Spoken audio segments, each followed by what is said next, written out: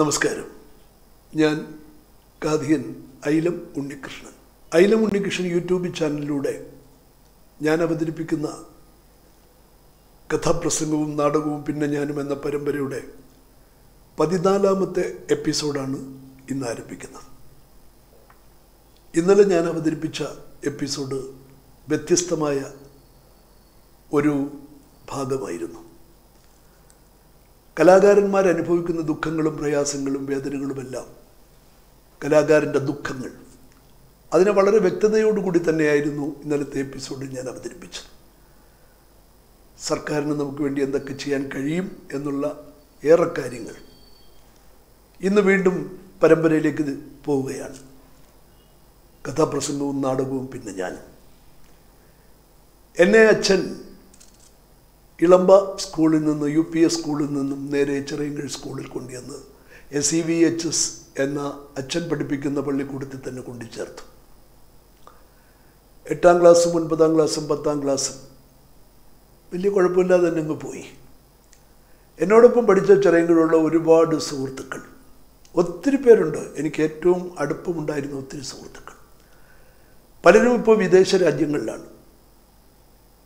ഒത്തിരി പേര് തിരിച്ചു വന്നു. ഇപ്പോഴും വിദേശ രാജ്യത്ത് തന്നെ കുടുംബസമേതം കഴിയുന്ന സുഹൃത്തുക്കളും അനേകം പേരുണ്ട്.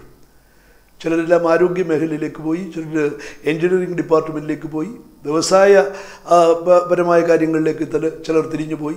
പലരെയും ഞാൻ കാണുന്നുണ്ട്. ഇവർ കലാകാരനായതുകൊണ്ട് പല സ്ഥലങ്ങളിലും പരിപാടിക്ക് പോകുമ്പോൾ പല ഭാഗങ്ങളിലൊക്കെ ആയിട്ട് താമസിക്കുന്നവരെ എനിക്ക് കാണാനും വീണ്ടും വീണ്ടും ബന്ധം പുതുക്കാനും ഒക്കെ കഴിയുന്നുണ്ട്. എന്തായാലും അതൊരു മഹാഭാഗ്യമായിട്ട് തന്നെയാണ് ഞാൻ കരുതുന്നത്. എന്തായാലും എട്ടാം ക്ലാസ്സിലും ഒൻപതാം ക്ലാസ്സിലും പത്താം ക്ലാസ്സിലും എന്നോടൊപ്പം പഠിച്ച എനിക്ക് ഒരു ആത്മസുഹൃത്ത് എനിക്കുണ്ടായിരുന്നു. അദ്ദേഹത്തിന്റെ പേര് വിജയൻ. സ്വന്തം നാടെന്ന് പറയുന്നത് ചെറിയങ്കടിനടുത്തുള്ള മുടപുരം എന്ന് പറയുന്ന സ്ഥലമാണ്. മുടപുരത്തിന് വേറൊരു പ്രത്യേകതയുള്ള എന്റെ അച്ഛന്റെ കുടുംബ അച്ഛന്റെ അച്ഛന്റെ കുടുംബസ്ഥലമാണ്. അവിടെ മുടപുരം ദേവീക്ഷേത്രം അതുപോലെ തന്നെ ശിവകൃഷ്ണപുര ക്ഷേത്രം ഈ ക്ഷേത്രങ്ങളൊക്കെ തന്നെ അച്ഛന്റെ കുടുംബമായിട്ട് ബന്ധപ്പെട്ടതാണ്. അപ്പോൾ ഈ വിജയൻ എന്ന് പറഞ്ഞ എന്റെ ആത്മസുഹൃത്തും ഒക്കെ വളരെ അകന്ന രീതിയിലുള്ള ഞങ്ങൾ അച്ഛന്റെ ബന്ധുവായിട്ടൊക്കെ വരുന്ന ഒരു എന്റെ ഒരു കൂട്ടുകാരനാണ്. ഞങ്ങൾ തമ്മിലായിരുന്നു ഇണപിരിയാത്ത സുഹൃത്തുക്കൾ. പത്താം ക്ലാസ് വിദ്യാഭ്യാസം കഴിഞ്ഞു പരീക്ഷ കഴിഞ്ഞു. അവൻ വെക്കേഷൻ തീരുന്നതിന് മുമ്പായിട്ടൊരു ദിവസം വീട്ടിൽ വന്നു. വീട്ടിൽ വന്നിട്ട് എന്നോട് പല കാര്യങ്ങളൊക്കെ സംസാരിച്ചു. അമ്മയെ പരിചയപ്പെട്ടു അച്ഛൻ പഠിപ്പിച്ച സ്റ്റുഡന്റാണ് അതുകൊണ്ട് പിന്നെ അച്ഛന് പരിചയപ്പെടേണ്ട കാര്യമില്ല. സഹോദരങ്ങളെ എല്ലാവരെയും പരിചയപ്പെട്ടു. അവിടെ നിന്ന് ഉച്ചകൂടെല്ലാം കഴിഞ്ഞ് ഞാൻ യാത്രയാക്കാൻ പോ വരുമ്പോൾ അവൻ വന്ന കാരണം തന്നെ അവന് ജോലി കിട്ടി. പത്താം ക്ലാസ്സിൽ പരീക്ഷ എഴുതിയപ്പോൾ തന്നെ അവന് ഇന്ത്യൻ നേവിയിൽ ഉദ്യോഗസ്ഥനായിട്ട് ജോലി കിട്ടി. അതിന്റെ ട്രെയിനിങ്ങിന് പോവുകയാണ് ബോംബെയിലേക്ക്. അങ്ങനെ യാത്ര ചോദിക്കാൻ വന്നതാണ്. ഞാൻ അവനെ ബസ് സ്റ്റാൻഡിൽ കൊണ്ടുവന്ന് യാത്രയാക്കാൻ വന്നപ്പോൾ ഞങ്ങൾ മാറി നിന്ന് സംസാരിച്ചപ്പോൾ അവൻ എന്നോട് പറഞ്ഞു എടാ എനിക്കൊരു കാര്യം പറയാൻ. എന്താണ്? നമ്മളെപ്പോഴും നീ ക്ലാസ്സിലിരുന്നൊരു ഹിന്ദി പാട്ട് പാടുമായിരുന്നല്ലോ. അതൊന്ന് പാട്. ഞാനൊന്ന് കേൾക്കട്ടെ ഇനി എത്ര നാൾ കഴിഞ്ഞാൽ ശരിയാണ്? ഇന്നത്തെ പോലെ ഈ മൊബൈൽ ഫോണോ അല്ലെങ്കിൽ മറ്റു കാര്യങ്ങളോ ഒന്നും തന്നെ ഇല്ല. ഒരു കത്തെഴുതിയാൽ തന്നെ ഒരാഴ്ചയോ രണ്ടാഴ്ചയൊക്കെ കഴിഞ്ഞാണ് ഒന്ന് കിട്ടുന്നത് തന്നെ. അതുകൊണ്ട് എന്നോട് പറഞ്ഞു നീ ആ പാട്ടൊന്ന് പാട്. ഒന്ന് കേൾക്കട്ടെ. അപ്പോൾ ഞാൻ ഈ ദോസ്തി എന്ന് പറയുന്ന ഒരു വല്ലാത്ത കഥയായിരുന്നു. ഹിന്ദി സിനിമയായിരുന്നു. ഞങ്ങളുടെ സ്കൂളിൽ നിന്ന് എല്ലാ സ്റ്റുഡന്റിനെയും കൊണ്ടുപോയി. ഓരോ ദിവസവും ഓരോ ഉറച്ച കുട്ടികളെ കൊണ്ടുപോയി പല ദിവസങ്ങളിലായിട്ട് ആ സിനിമ എല്ലാ കുട്ടികൾക്കും കാണിച്ചു കൊടുത്തു. ഒരു അന്ധനായ യുവാവിന്റെയും ഒരു സംസാരിക്കാൻ കഴിയാത്ത ഒരു കൂട്ടുകാരന്റെയും രണ്ട് ഇണപിരിയാത്ത സുഹൃത്തുക്കളുടെ ജീവിതകഥയായിരുന്നു. അപ്പോൾ അതിനകത്തൊരു പാട്ടുണ്ട് ഞാനെപ്പോഴും ഇങ്ങനെ ക്ലാസ്സിൽ ഇരുന്ന് പാട്ട് പാടും. അപ്പോൾ എന്നെ ഒന്ന് നിർബന്ധിച്ചു എടാ നീ ഒന്ന് പാടും. അന്ന് പാട്ടിനെക്കുറിച്ച് വലിയ വിവരമൊന്നുമില്ല. അങ്ങ് പാടും അത്ര തന്നെ.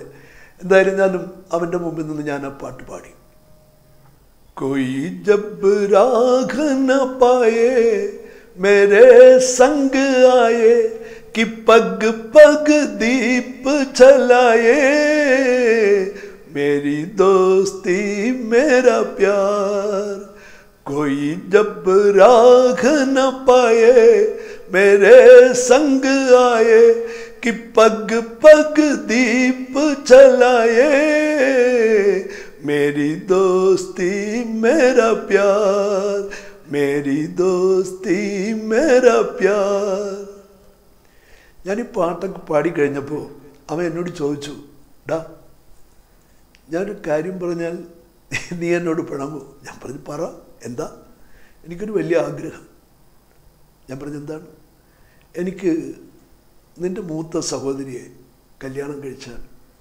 കൊള്ളാവുന്നുണ്ട്. ഇപ്പോഴല്ല ഒത്തിരി വർഷം കഴിഞ്ഞിട്ട്. നിന്റെ ഉറപ്പെനിക്ക് വേണം. ഞാൻ പറഞ്ഞു ഞാനെങ്ങനെയാണ് ഉറപ്പ് തരാം അച്ഛനുണ്ട് അമ്മയുണ്ട് ബന്ധുക്കളുണ്ട്. അവരെല്ലാം തീരുമാനിക്കണ്ടേ? എനിക്ക് നൂറ് ശതമാനവും സന്തോഷമാണ്. പക്ഷേ അവളിപ്പോൾ എട്ടാം ക്ലാസ്സിലായതേ ഉള്ളൂ.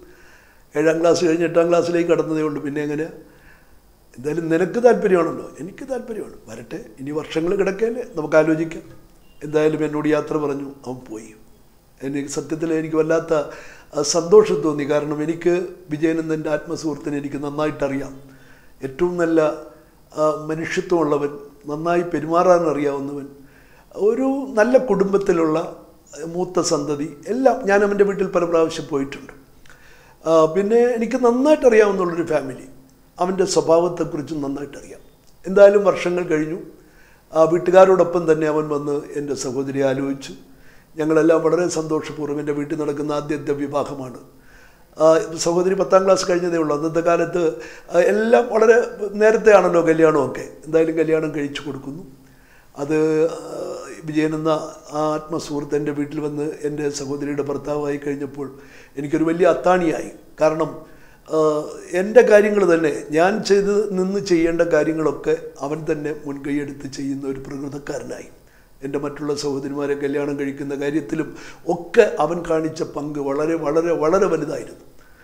അത് കഴിഞ്ഞ് നേബിയിൽ ഇന്ന് ജോലി രാജിവെച്ചിട്ട് അവൻ ഗൾഫിലേക്ക് പോകുന്നു. ഗൾഫിൽ അവിടുത്തെ യു എ ഇ ഗവൺമെന്റ് കീഴിൽ തന്നെയുള്ള ഇലക്ട്രിസിറ്റി ബോർഡിലെ ഉദ്യോഗസ്ഥനായിട്ട് കപ്പലിലെ ഉദ്യോഗസ്ഥനായിട്ട് മാറുന്നു. സഹോദരിയും മക്കളും ഒക്കെ അവിടെ തന്നെയായിരുന്നു. എന്തായാലും കഴിഞ്ഞ ഒരു അഞ്ച് വർഷത്തിന് മുമ്പ് അവൻ നാട്ടിലേക്ക് തിരിച്ചു വന്നു. രണ്ട് വർഷക്കാലങ്ങൾക്ക് മുമ്പ് പെട്ടെന്നൊരു അസുഖം വന്ന് അവൻ ഈ ലോകത്തിനോട് യാത്ര പറഞ്ഞു. എന്റെ കുടുംബത്തിന്റെ അത്താണി തന്നെയായിരുന്നു. ഒരുപക്ഷേ എന്നെക്കാളേറെ എന്റെ കുടുംബത്തെ സ്നേഹിച്ചവനായിരുന്നു അവൻ. ആ നഷ്ടം ഇന്നും എന്റെ മനസ്സിൽ മായാത്തൊരു നോവായിട്ട് അവശേഷിക്കുകയാണ്. അങ്ങനെ എട്ടാം ക്ലാസ്സിൽ ഞങ്ങൾ പഠിക്കുമ്പോൾ എട്ടാം ക്ലാസ്സിൽ വെച്ചായിരുന്നു മലയാളത്തിന്റെ ഏറ്റവും വലിയ സിനിമ ചെമ്മീൻ റിലീസാകുന്നത്. അനശ്വരമായ ഗാനം. നമ്മുടെ മനസ്സൊന്നൊരിക്കലും മായാത്ത ഗാനം. മാനസമൈനി വരൂ. മധുരം നുള്ളി തരൂ. നിന്നരുമപ്പൂവാടിയിൽ നീ തേടുവതാരെ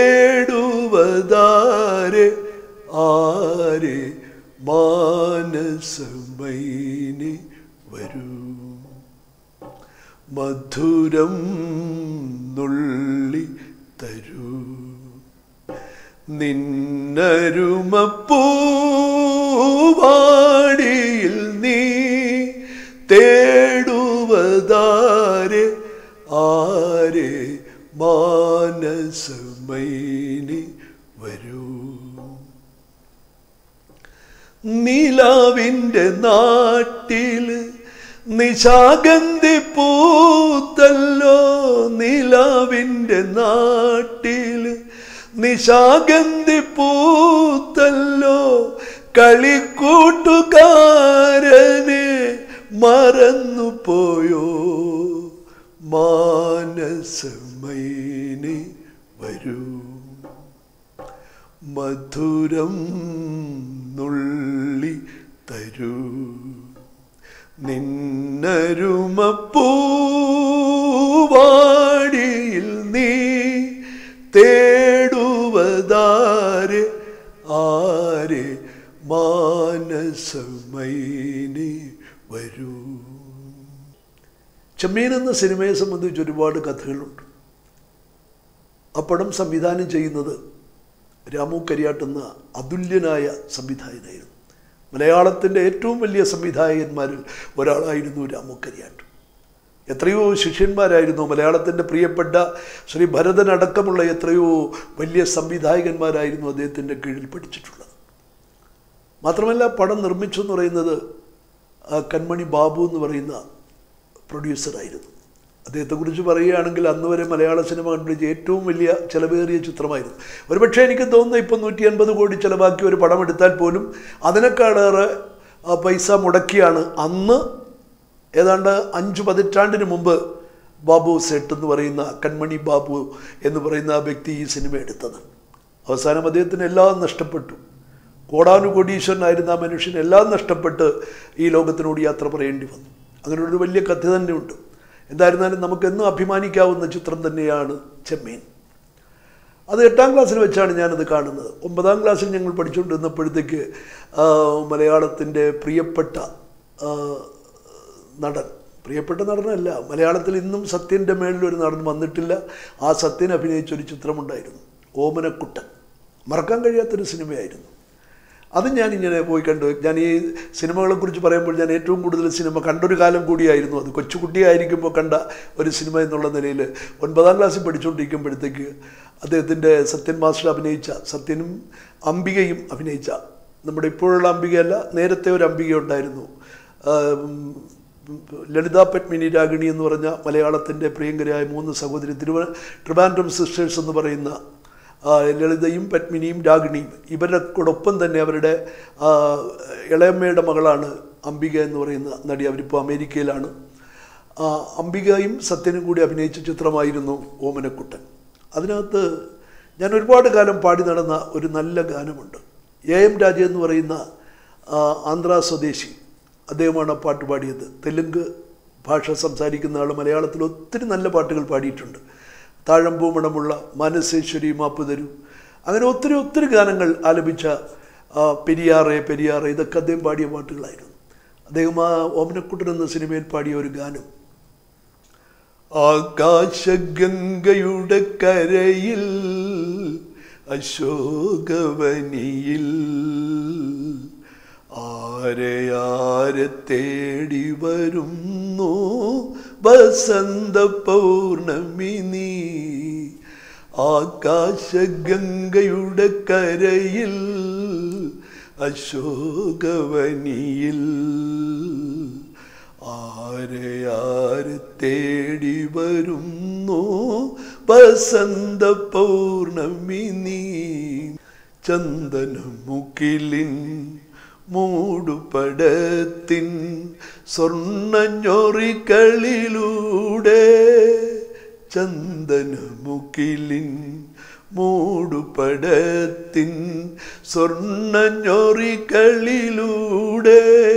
നിൻ കൺമുനകൾ തൊടുത്തു വിട്ടൊരു നീലമലരമ്പെവിടെ? എവിടെ? എവിടെ? എവിടെ? ആകാശഗംഗയുടെ കരയിൽ അശോകവനിയിൽ. ആരെ ആരെ തേടി വരുന്നു വസന്ത പൗർണമി നീ? എന്തായാലും പത്താം ക്ലാസ്സിലെത്തി. പത്താം ക്ലാസ്സിൽ ഒത്തിരി എന്നെക്കാലം മുതിർന്ന എന്റെ കൂട്ടുകാരന്മാരുണ്ടായിരുന്നു. അവരൊക്കെ ഏതാണ്ട് ക്ലാസ്സിൽ അവരെക്കുറിച്ചൊന്നും പറയാതിരിക്കുന്നതാണ് ഭേദം. പക്ഷേ എല്ലാവരുമൊക്കെ എന്നെക്കാളുമൊക്കെ എത്രയോ ഉയർന്ന നിലവാരത്തിലെത്തിയെന്നറിയാം. ഗൾഫ് രാജ്യം അങ്ങനെ ഒരുപാട് പേര് രക്ഷിച്ചിട്ടുണ്ട്. അപ്പം ഞങ്ങളുടെ ക്ലാസ്സിൽ ഇവരിങ്ങനെ കുറേ പുസ്തകങ്ങളൊക്കെ കൊണ്ടുവച്ച് വായിക്കുന്ന കാണാം. എന്ത് പുസ്തകമാണെന്ന് ഞങ്ങൾക്ക് കുറച്ച് പേർക്ക് അറിയത്തില്ല. പക്ഷേ ഞങ്ങൾക്ക് വല്ലാത്ത ആകാംക്ഷ. അപ്പോൾ അന്ന് മലയാളം അധ്യാപകനായിട്ട് പുതിയൊരു സാറ് വന്ന് ചാർജ് എടുക്കുകയാണ്. അദ്ദേഹത്തിന്റെ പേര് ഗോപാലകൃഷ്ണൻ എന്നാണ്. സാറിന്റെ നാട് കാപ്പിലാണ്. അപ്പോൾ സാർ വന്ന് ചാർജ് എടുക്കുന്നു. ഇതിങ്ങനെ ഉണ്ണികൃഷ്ണൻ കുഞ്ഞിശങ്കരൻ ബാബുദയുടെ മകനാണെന്നൊന്നും അറിയത്തില്ല. അച്ഛനുമായിട്ട് നല്ല സുഹൃത്താണ്. പക്ഷേ ക്ലാസ്സിൽ അദ്ദേഹം വരുന്നു. ക്ലാസ്സിൽ വന്ന് ഇങ്ങനെ പുസ്തകം പഠിപ്പ് പുസ്തകം എടുത്ത് പഠിപ്പിക്കാൻ തുടങ്ങുമ്പോൾ ഞങ്ങൾ നാലഞ്ച് പേര് ബാക്ക് സീറ്റിൽ ചെന്നിരുന്ന് ഈ ഇവർ തന്ന പുസ്തകം വായിക്കുകയാണ്. അതിന് അതിന് ആ പുസ്തകത്തിനെ കുറിച്ചൊന്നും പറയാതിരിക്കുന്നതാണ് ഭേദം. അന്നൊക്കെ അതിന് വേറെ പേരൊക്കെയാണ് പറയുന്നത്. എന്തായിരുന്നാലും ഞങ്ങൾക്ക് ആകാംക്ഷയോടുകൂടി ഞങ്ങൾ ഇങ്ങനെ എല്ലാവരും കൂടി അത് നോക്കി വായിച്ചുകൊണ്ടിരിക്കുകയാണ് എന്തായാലും സാറ് പിടിച്ചു. ഞങ്ങളെ നാല് പേരെയും പിടിച്ചു. പിടിച്ച് ചോദിച്ചു ഇത് ആര് കൊണ്ടു തന്ന പുസ്തകമാണ്? ഈ വൃത്തികെട്ട പുസ്തകം ആരാ കൊണ്ടു തന്നു പക്ഷേ ഞങ്ങൾ നാല് പേരും ഒരേ മനസ്സോടെ തന്നെ നിന്നു. ഞങ്ങൾ പറഞ്ഞു സാർ ഈ ക്ലാ ഈ ക്ലാസ്സിന്റെ മൂലയിൽ കിടന്നതാണ്. ആരും കൊണ്ട് തന്നതൊന്നുമല്ല ഞങ്ങളെടുത്തു എന്താണെന്ന് നോക്കിയതാണ് അല്ലാതെ വായിച്ചതൊന്നുമില്ല എന്ന് പറഞ്ഞു. എന്തായിരുന്നാലും ദൈവം ദേഷ്യം കൊണ്ട് ഞങ്ങൾക്ക് നാല് പേർക്കും പൊതിരെ തല്ല് തന്നു എന്റെ കൈവെള്ള പൊട്ടി. സാരമില്ല. കാരണം നമ്മൾ തെറ്റ് ചെയ്തതാണല്ലോ. എന്നിട്ട് അദ്ദേഹം പിന്നീടാണ് അറിയുന്നത് ഞാൻ ഇങ്ങനെ ഇന്ന അധ്യാപകന്റെ മകനാണ്. അങ്ങനെ അച്ഛനോട് പറഞ്ഞു. അങ്ങനെ അച്ഛൻ എന്നെ തല്ലിയില്ല പക്ഷേ അച്ഛനത് വലിയ വിഷമമായിരുന്നു. അച്ഛൻ വീട്ടിൽ വന്ന അമ്മയോട് വളരെ വേദനയോട് കൂടിയൊക്കെ പറയുന്നത് ഞാൻ കേട്ടു. എന്തായിരുന്നാലും പിന്നെ ഞാൻ അങ്ങനെയുള്ള ഒരു വൃത്തികേടും കാണിച്ചിട്ടില്ല. അങ്ങനെ പുസ്തകങ്ങളൊന്നും വായിക്കാനോ ആ രീതിയിലൊക്കെ ഒന്നും ചിന്തിച്ചിട്ടില്ല പഠിത്ത കാലത്ത്. അതിനുശേഷം പിന്നെ ഞാൻ സാറിനെ കാണുന്നത് വർഷങ്ങൾക്ക് ശേഷമാണ്. വർഷങ്ങൾക്ക് ശേഷം എന്ന് പറഞ്ഞാൽ കഴിഞ്ഞ മൂന്ന് വർഷത്തിന് മുമ്പ് ഞാനൊന്ന് നമ്മുടെ കുമാരനാശാൻ ദേശീയ സാംസ്കാരിക ഇൻസ്റ്റിറ്റ്യൂട്ടിന്റെ സെക്രട്ടറി ആയിട്ടിരിക്കുകയാണ് തോന്നക്കൽ. അന്ന് കാപ്പിൽ ഒരു വലിയ നാടക ഉത്സവം നടക്കുന്നു പത്ത് ദിവസം നീണ്ടു നിൽക്കുന്ന നാടക മത്സരം. അപ്പോൾ ആ പരിപാടി ഔപചാരികമായി ഉദ്ഘാടനം ചെയ്യുന്നതിന് വേണ്ടി അതിന്റെ സംഘാടകർ ക്ഷണിച്ചത് എന്നെയായിരുന്നു. അങ്ങനെ ഞാൻ കാപ്പിലേക്ക് ചെല്ലുന്നു ആ പരിപാടി ഔപചാരികമായി ഉദ്ഘാടനം ചെയ്യാൻ വേണ്ടി. ചെന്നപ്പോഴാണ് ആ ക്ലബിന്റെ ഈ പരിപാടിയുടെ ഒരു ക്ലബ്ബുകാരാണ് നടത്തുന്നത്. അതിന്റെ രക്ഷാധികാരി എന്ന് പറയുന്നത് ഗോപാലകൃഷ്ണ സാറാണ്. എന്നെ പത്താം ക്ലാസ്സിൽ പഠിപ്പിച്ചുകൊണ്ടിരിക്കുമ്പോൾ ഒരു തെറ്റ് കണ്ടുപിടിച്ച് എന്നെ ശിക്ഷിച്ച ഗോപാലകൃഷ്ണ സാറാണ്. സാറിനെ കണ്ടോടം തന്നെ കെട്ടിപ്പിടിച്ചു. വളരെ വല്ലാത്തൊരു ഒരു ഒരു ഒരു മുഹൂർത്തമായിരുന്നു അത്. എന്നിട്ട് സ്റ്റേജിൽ കയറി ഞാൻ സാറിനെ കുറിച്ചെല്ലാം പറഞ്ഞു. എന്നെ ഒത്തിരി തല്ലിയ ആളാണ് ഇന്ന്. ചിലപ്പോൾ ഒരു പക്ഷേ സാറിന്റെ ആ തല്ലായിരിക്കാം എന്നെ ഈ നിലയിലൊക്കെ എത്തിച്ചത്. ഇങ്ങനെയൊക്കെ ഒരുപാട് മനസ്സിൽ മാറ്റങ്ങളൊക്കെ വരാനായിട്ടൊക്കെ പ്രേരിപ്പിച്ചത്. അതുകൊണ്ട് എനിക്കൊരിക്കലും സാറിന് മറക്കാൻ കഴിയില്ല. അങ്ങനെ സാറിന്റെ പൊന്നാട അണിയിക്കേണ്ട കർമ്മവും എനിക്കായിരുന്നു. അങ്ങനെ ഞാൻ സാറിന്റെ പൊന്നാട അണിയിക്കുമ്പോൾ ആ പാദത്തിൽ തൊട്ട് തൊഴുമ്പോൾ ഞങ്ങൾ തമ്മിൽ വല്ലാതെ അങ്ങ് കെട്ടിപ്പിടിച്ചു.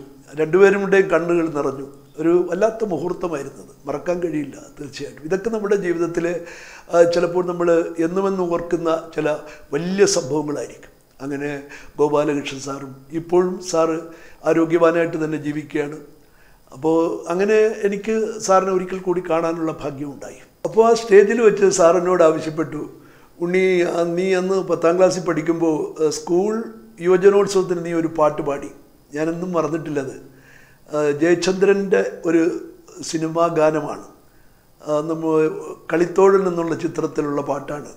ജയചന്ദ്രൻ ആദ്യമായിട്ട് പാടുന്ന പാട്ട്. നീ അത് നന്നായി പാടുമായിരുന്നു. അതൊന്ന് പാട്ടി ഒന്ന് കേൾക്കാൻ എനിക്ക് വലിയ മോഹം. അങ്ങനെ സാറിന് വേണ്ടി വർഷങ്ങൾക്ക് ശേഷം ഞാൻ ആ ഗാനം ആലപിച്ചു. ജയചന്ദ്രൻ എന്ന ഭാവഗായകൻ ആദ്യമായിട്ട് കളിത്തോഴൻ എന്ന സിനിമയിൽ പാടിയ ആ ഗാനം. മഞ്ഞലയിൽ മുങ്ങിത്തോർത്തി ധനുമാസ ചന്ദ്രിക വന്നു. നിന്നെ മാത്രം കണ്ടില്ലല്ലോ നീ മാത്രം വന്നില്ലല്ലോ. പ്രേമ ചകോരി ചകോരി ചകോരി. മഞ്ഞലയിൽ മുങ്ങിത്തോർത്തി ധനുമാസ ചന്ദ്രിക വന്നു. നിന്നെ മാത്രം കണ്ടില്ലല്ലോ നീ മാത്രം വന്നില്ലല്ലോ. പ്രേമ ചകോരി ചകോരി ചകോരി. കർണികാരം പൂത്തു തളിർത്തു കൽപ്പനകൾ താലമെടുത്തു. കർണികാരം പൂത്തു തളിർത്തു കൽപ്പനകൾ താലമെടുത്തു. കൺമണിയെ കണ്ടില്ലല്ലോ. എന്റെ സഖി വന്നില്ലല്ലോ. കണ്ടവരുണ്ടോ? ഉണ്ടോ? ഉണ്ടോ? മഞ്ഞലയിൽ മുങ്ങിത്തോർത്തി ധനുമാസ ചന്ദ്രിക വന്നു. നിന്നെ മാത്രം കണ്ടില്ലല്ലോ. നീ മാത്രം വന്നില്ലല്ലോ. പ്രേമ ചകോരി ചകോരി ചകോരി. എന്റെ ഗുരുനാഥന് വേണ്ടി അങ്ങനൊരു ഗാനം എനിക്ക് ആലപിക്കാൻ വീണ്ടും ഭാഗ്യമുണ്ടായി. ഈ എപ്പിസോഡ് ഇവിടെ അവസാനിക്കുന്നു. അടുത്ത ശനിയാഴ്ച രാവിലെ കൃത്യം ഒൻപത് മണിക്ക് വീണ്ടും നമുക്ക് തമ്മിൽ കാണാം. നന്ദി നമസ്കാരം.